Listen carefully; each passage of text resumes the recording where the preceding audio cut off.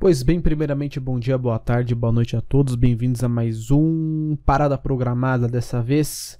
Retornamos aí com uma notícia que era para sair na sexta-feira, mas acabou não saindo. Então a gente vai recapitular para poder falar de um tema bem interessante que é sobre as obras é, que estão acontecendo agora na linha 15 Prata, é, que a gente poderia dizer que sim, são obras precursoras ali.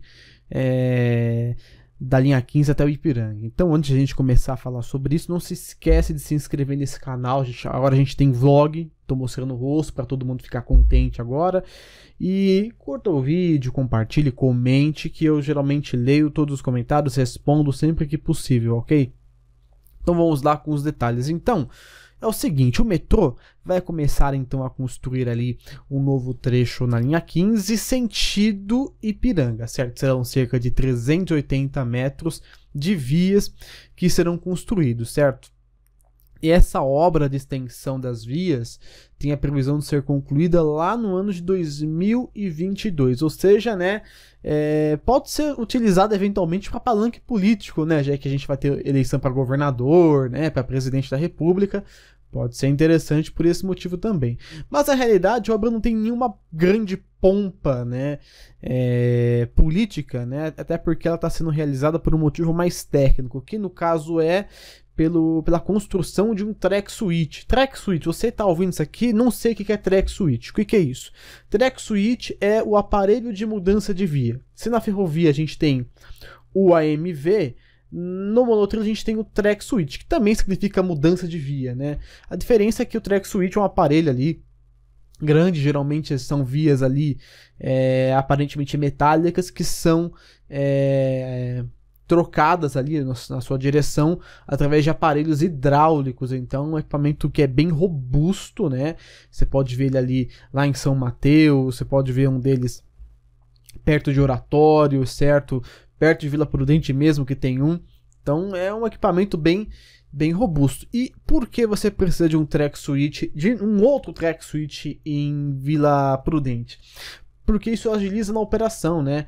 É, a linha 15 tem algumas limitações em headway e em frota disponível, justamente por conta que a velocidade de manobra desse tipo de equipamento, por ser mais lento e mais robusto, ele acaba retardando essa faixa aí de horário de velocidade. Então, com o novo track switch lá na estação de Vila Prudente, é, a tendência é que a operação seja cada vez mais agilizada. Essa obra vai ser realizada pelo consórcio Monotrilho Leste, que é formado pela OAS e, se não me engano, pela Queiroz Galvão. Né? Se não me engano, são essas duas empreiteiras que são responsáveis por essas obras.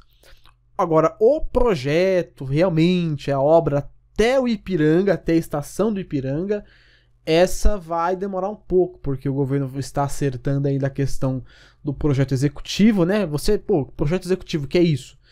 Tem um vídeo nosso no canal falando sobre projeto básico, executivo e funcional. Mas resumindo para você, o projeto executivo é basicamente o projeto final, aquele que vai realmente ser implantado. Então o metrô é bom que faça as licitações com o projeto executivo porque é, ganha, ganha tempo. Né? Fica muito mais fácil, a empreiteira só constrói o que está ali no papel, certo? Não precisa ficar fazendo coisa a mais. É, e, né, no caso, é, o metrô ele prevê a construção, a entrega da estação Ipiranga da linha 15 para 2024. Bom, a gente está no final de 2020, então vamos considerar aí três anos. Eu acho que é muito pouco tempo.